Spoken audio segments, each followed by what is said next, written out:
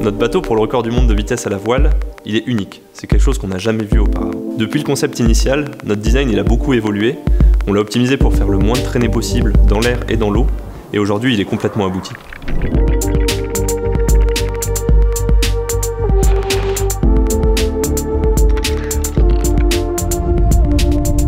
Bateau il fait 10 mètres de long par 7 mètres de large et depuis le début la philosophie c'était d'avoir un bateau très stable donc assez naturellement on a décidé de faire un bateau qui ne vole pas. Du coup on a trois points d'appui sur l'eau, une coque centrale et deux flotteurs latéraux. On a aussi euh, à l'arrière du bateau le module de puissance qui aligne en permanence la force du kite qui tire vers le haut et la force du foil qui tire vers le bas.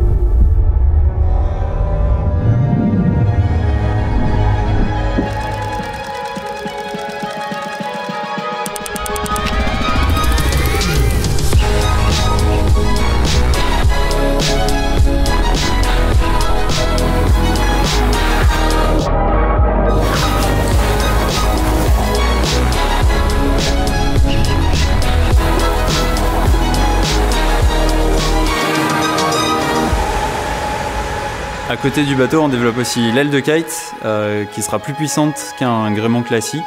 Et pour le record, on aura plusieurs tailles d'ailes, entre 25 et 40 mètres carrés, pour s'adapter aux différentes conditions.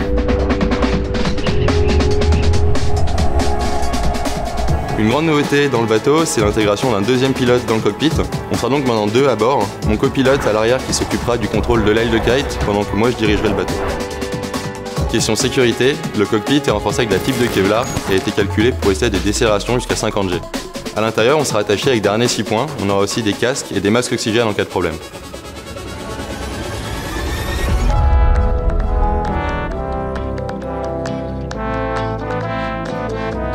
Aujourd'hui, la première pièce du bateau va sortir du chantier. C'est la coque centrale avec le cockpit que l'on va bientôt recevoir en Suisse dans notre atelier. La réalisation de cette première pièce, c'est une vraie concrétisation pour toute l'équipe, une super étape de franchie et forcément une grande satisfaction et qui nous rapproche un peu plus du record.